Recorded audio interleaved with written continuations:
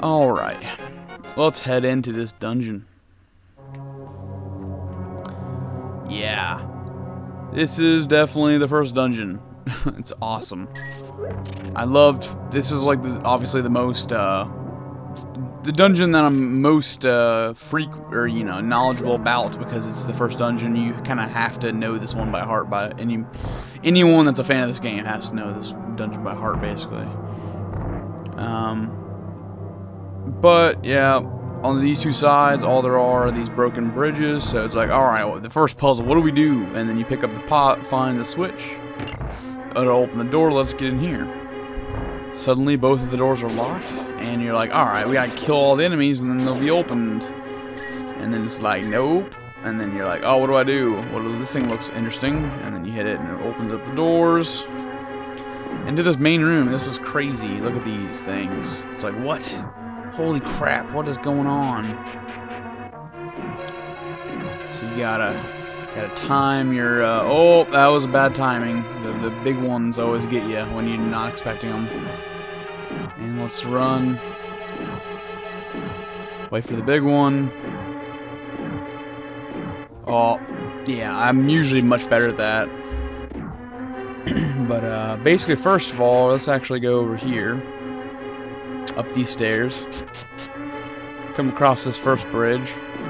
I just think that these dungeons were so much better than the ones in Legend of Zelda 1. I mean, just the fact that there's like, I'm above something is just crazy. Like, the NES couldn't have done this at all, you know? And get a little reward here of a bunch of rupees. We have 700 now. we got tons of them.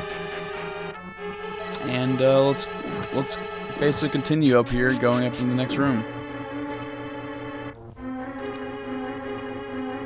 We got some new enemies, looks like. And another one of these switches. This will open our do this door here. We can go in here. And we can actually fight these enemies now. These are actually, uh, of course, you know, the, uh, what are the names these guys? Fuck. Um, oh fuck this uh, god I know what the names are but like for some reason I can't think of it right now. Um the yeah I don't know it's on the tip of my tongue but they're in the Ocarina of Time and they're a lot bigger I know that much. So these pots are actually really useful against these guys oh well if I miss it's not but well, actually I hit the wrong one. But yeah basically the pots kill them in one shot same with arrows, of course, which is this uh, this dungeon is known for that. Arrows everywhere. And we can get our first little item here. Compass. I don't know. Yeah, we don't have the map yet, I don't think. But, uh, we're building our own map.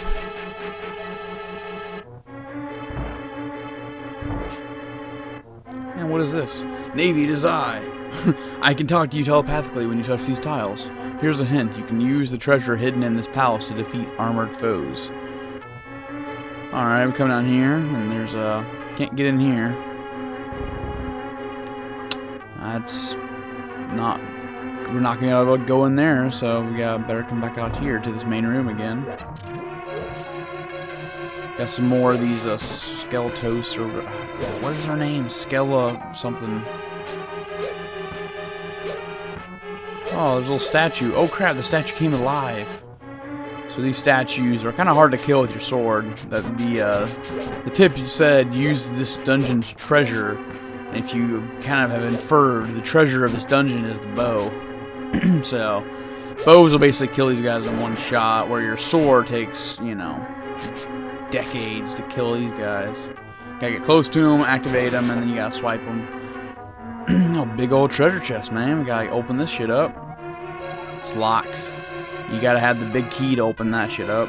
Alright. Get some hearts over here. We'll head over in this room. Because the door up in the, the north door, as you can see, is a uh, big key door. So, can't go up there, so we gotta go over here. Can walk up these steps. And it's dark. Oh crap, they're coming after me. Oh, we opened that door. Better. Oh, well, I passed up on a 20 rupee, whatever. Gotta kill these guys. Oh. Pick up the pot. Come on. And there it is, the key we needed. We didn't, you didn't know we needed it yet, but we did. Let's enter this room again. Oh, that's bad for us. That's not what I want. Let's keep going. Open up this locked door using that key. And now we're up in this room, the uh, the first room again over here. But now we're on this bridge, so we can actually come over into this door. And got a couple enemies here. Nothing big. And all these bubbles, or whatever they're called, are actually protecting that pot, so... Now we can do here. And up here, there's a big key door. Hmm, I wonder if we're to get the big key in this room. it's like, I wonder. Gotta kill this guy. gotta kill all the enemies here, so get our pots. Yeah, pots are also effective against those guys too. Basically, pots are arrows, I guess, like the same damage-wise. Because I killed, I killed these guys too in one hit. And as soon as you kill the last enemy, oh crap, all these bubbles come out of nowhere. Pick up this. Just hit the switch, and it reveals this chest that contains the big key. This dungeon's already almost over. This is a very short dungeon, but it's a very good dungeon, though, obviously. These bubbles will actually steal parts of your pieces of your magic. Oh, crap, about to die. Better get out of there. And we couldn't pass here before, but now we can. From that angle, that side. Come back in here with our big key. Try to get some hearts, first of all. Nothing, nothing. Well, I don't want to grab the uh, bow yet. We're actually going to head down here to the secret area. Both of the pots lead to the same area. And ferry. We have... Yeah, they're both full, so... Eh, I could release the bee, but it's kind of pointless now. Let's warp back up here. And uh, let's go ahead and get our treasure. The bow. Basically a very good item. And of course, swipe you to death real quick. Oh. This is, yeah.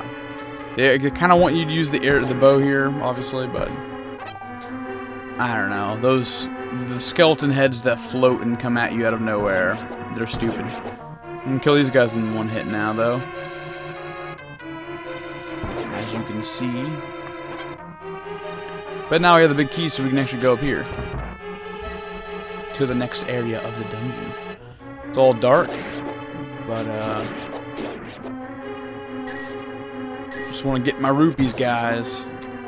Oh, a dungeon or a, uh, a key there, small key. Just what we needed. Could use some magic to uh, light this room up, but there's kind of no point. it's a very small room. There's a locked door over there that we needed that a key for, but over here is an unlocked room that can contains treasure. So you gotta kind of be be a light foot here and uh, try to avoid the bubbles to get all these rupees. But now we almost have a thousand rupees. We're getting there. We're 827. Open up this door to go up to floor two. You ain't seen nothing yet. We're we're just on the second floor, man. There's like 15 floors. Just kidding. Alright, so now we have three statues. We gotta take these guys down. Oh, of course.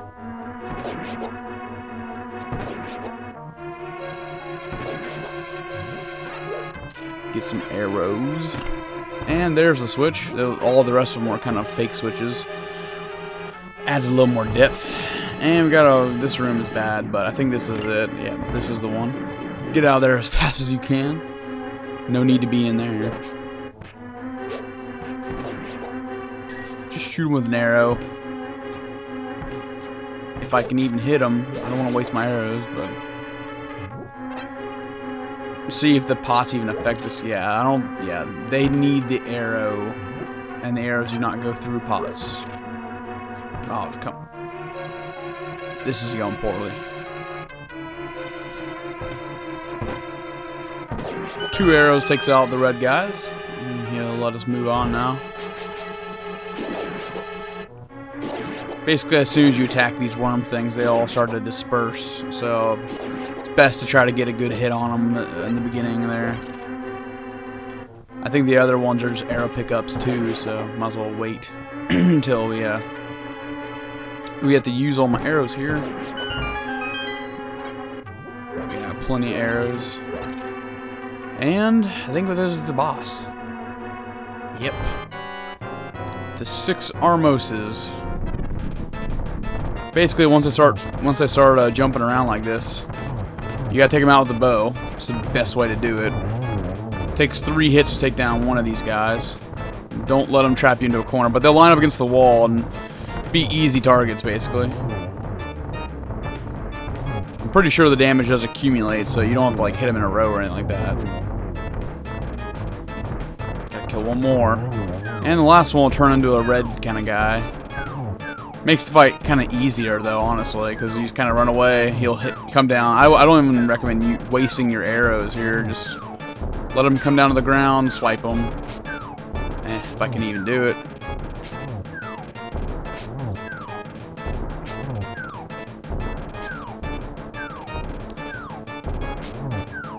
It makes the fight a little drag on a little longer, but yeah. And got our heart piece. Well, heart, a full heart, I should say. Now we have six full hearts, man. And we got our first pendant.